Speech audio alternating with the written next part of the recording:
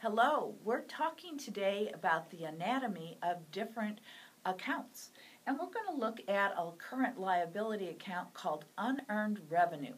And because it's a current liability, we know that the debit side decreases and the credit side increases. You'll recall that unearned revenue exists because customers pay us in advance for services yet to be performed, or customers pay us in advance for products yet to be delivered.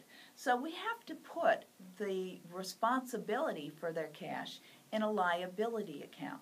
So when we receive their cash, we debit cash and we credit unearned revenue. So this is cash received from customers. And it stays in this account until such time as we render the services or we deliver the goods. And at that point, we would debit unearned revenue and credit sales, fees earned, a revenue account. So this is uh, revenue earned.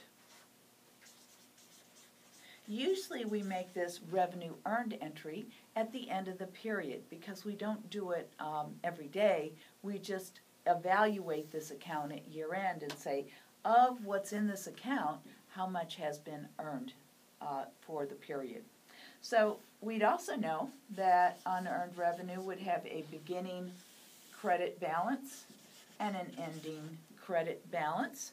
So let's take some facts and apply it. It says that the beginning balance is $8,000 and that our ending balance is $5,000 and that we have sales that were earned by year end of $13,000.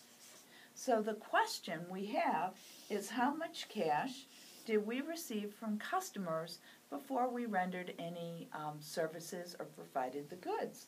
Well, if I reverse my signs, 5,000 plus 13,000 minus 8,000 says we received during the period a total of $10,000 from customers before we did anything. So that's unearned revenue. Thanks.